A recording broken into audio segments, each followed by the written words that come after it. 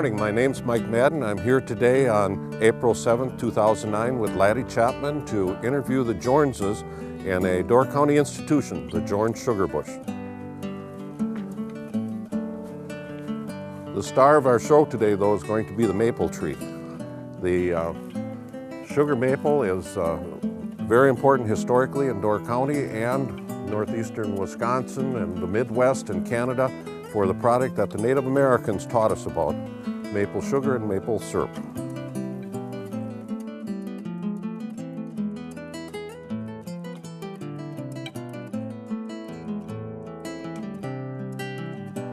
I'd like to introduce Roy Jorns. He is someone who has more experience than anyone else I know in making the maple products that we all enjoy. Roy, what do we have here? Well, we, we have aluminum bucket with a cover on, and uh, I believe it's got a 5 16 uh, spout, which is something new now. We're trying to uh, get the trees to heal up faster, a smaller hole, and we found that they're practically the same volume coming out of there as with a bigger spout. So that's a plus. I've got several thousand that I've changed over. And I'm real happy about that. Well, that's good. The other spiles were at least a half inch hole you had to make, weren't they? Well, uh, the last one were 7 16ths. But in my early days, they were down to a half inch. So, and how big does a tree have to be before you can tap it? Well, we like to at least get them 10 inches. 12 inches is better. I don't like to scar up the tree before it gets mature enough. I think it's, uh, uh, I see different ones that have tapped smaller trees and I just don't like it because it's hard on that tree. I see it's running today. It feels kind of cold out today. It's about 32 degrees and it seems to be dripping quite well. Well, it froze last night and that makes the big story and it's warming up nice today, so uh, uh, yeah, that'll do it. That's the trick, the freezing nights and the warmer days, isn't it? Exactly. What is your percentage of sugar this year? Well, it's been running like two and a half, but we've been getting, earlier in the season, we've been getting a lot of uh, freezing, hard freezes at night, and there's a lot of ice in the buckets, and of course it's a little extra work taking that ice out, but we dump the ice out, which concentrates the sap. Unless it's froze straight through, uh, by throwing the ice away, you've, you, you're condensing. I, in earlier years, it was uh, thought that maybe that was a way to, to, to do it, but the freezing of the sap was too expensive, so that, that was abandoned.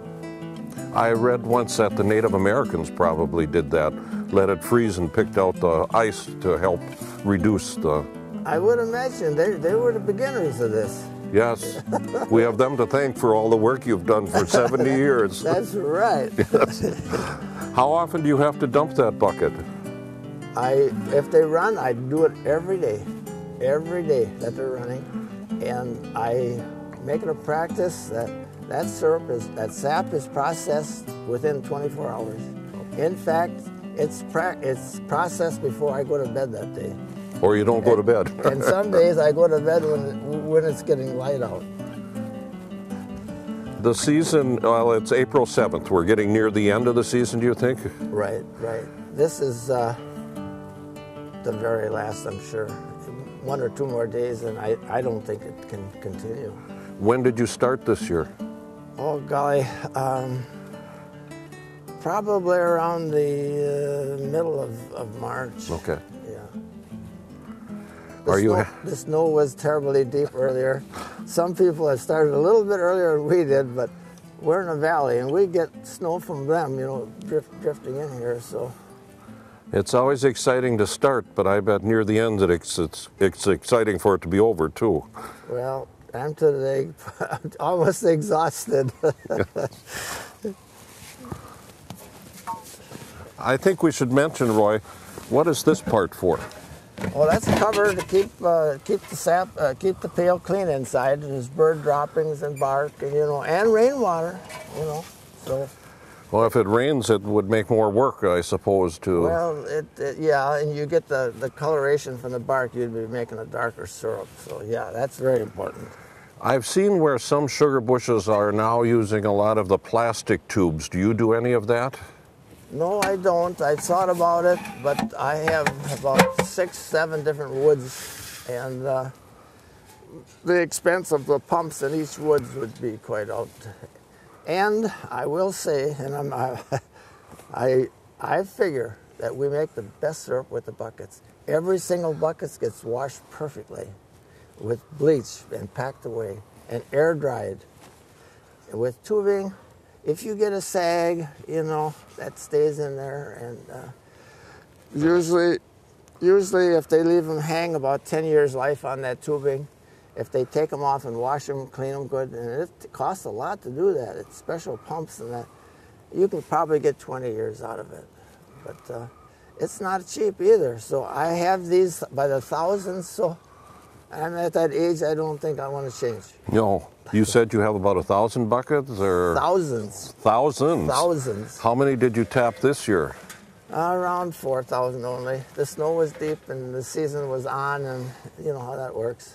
That means you have to pick up 4,000 buckets almost every day? Yeah. That must be a, quite a job.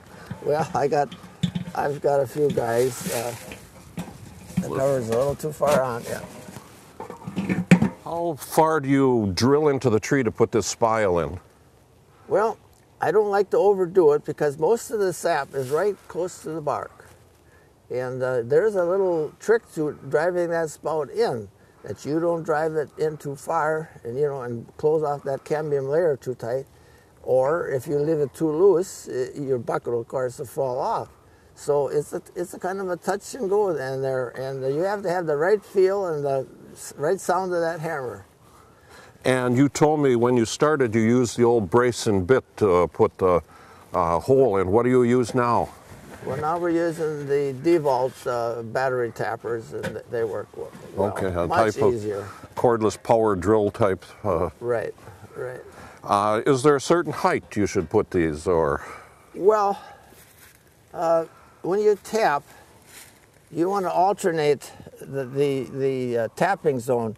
Like you should be up, and then you should stay away about two inches the next tapping year, and come down so that you don't build up a scarred uh, area, scarred area here. So, I, I as I go around the tree, it's, you know, Okay. And you can tap them every year? Yeah, oh yeah. I've uh, seen a, uh, well, in fact, my grandfather passed away in 1896, and I inherited his wooden buckets, 350 of his wooden buckets, and his spiles that were that were uh, patented in 1884. yeah, and I've I've tapped that woods every, every year since way back in in in the late 30s. So it really doesn't matter what side of the tree you put it on or Well, the most people prefer the south side, at least for the beginning. As their trees maybe have been tapped a hundred times, they might start have to head for the back. But if you have a large tree, uh, and there again, I want to emphasize that only one tap on a tree of this size. When you get like 15 inches, then you can put two on. But we don't want to overabuse that tree. so it is feasible you might have a tree in your sugar bush that's been tapped for a hundred years. Oh, more than that. Yep. well, that's exciting. Thank you, Roy. Yeah. Would you show us how you get the sap from the bucket to your sugar shack? What process you use? Well, I can do that. The tractors are right over there. Thank you.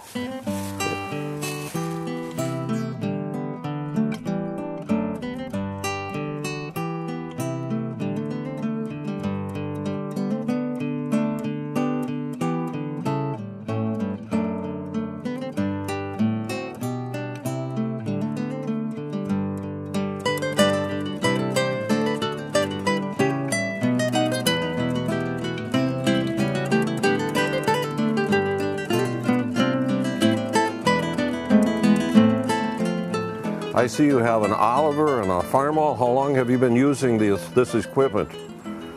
Uh, for many years. I uh, I had one tractor that I had packed away last night that went down on me. The starters kept running on it, so I had to shut that down. But before the tractors, I used horses. Roy, this looks like the bulwark part of the process here. Uh, you got that right. what, tell us what happens from the bucket to, to here. Well, we usually have about seven, eight fellows, and and uh, we take the buckets from the tree and dump it into our pails, and of course they just walk it to the uh, gathering tank, and and uh, just like that.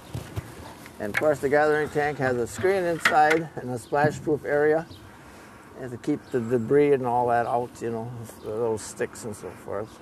Now, you mentioned some of your bushes are a mile or more away, so Right. this is how you get it from there to this part.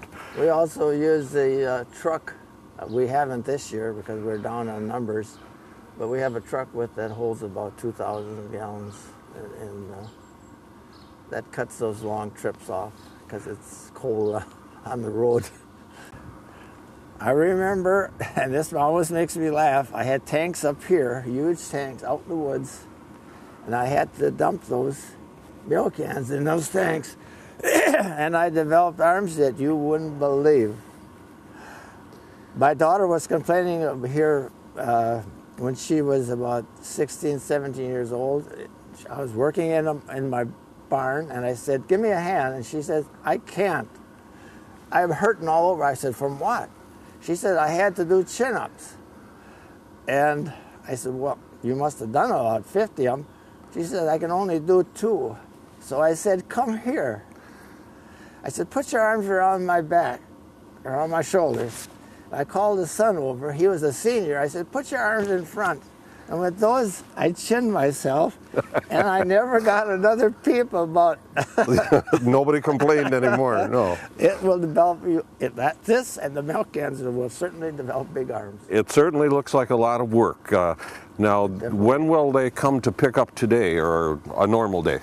Well, uh, it isn't. It froze heavy last night, so the group is going to start at noon. And besides, we had a little extra activity. We have uh, a woman's uh, club coming here, so we didn't want to have too much going on at once. Burn the syrup. Yes, yes. well, after we put it in these tanks, or after you do, I should say, and your crew, where does it go from here? Well, we drive right up that ramp, Okay. and uh, then we just we have a trough that goes in that goes into a big strainer. We just drop this down, and it's automatic. That's the easy part. Now, I've read about sugar bushes, they'd often put their tanks on a hill, but you've built your own hill, it looks like here. I, I built it. Yeah, yeah. Well, let's see where it goes after it goes into the building then. Okay.